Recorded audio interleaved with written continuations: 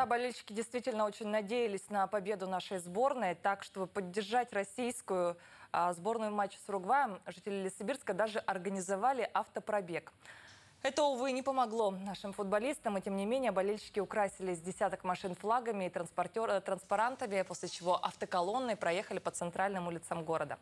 По сути, к участникам акции присоединились еще несколько водителей. Время от времени машины останавливались, к ним подходили прохожие, чтобы сделать совместные фото и по мере сил поддержать нашу команду.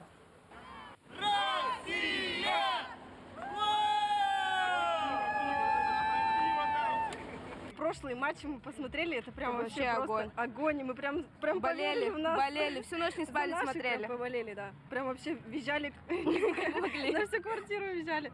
Прям, прям очень хорошее удовольствие, когда смотришь и просто и наши просто Выигрывают. И просто наши За, несколько лет Это круто, это круто действительно. Э, Наши забили, выиграли на Амале на день рождения первый.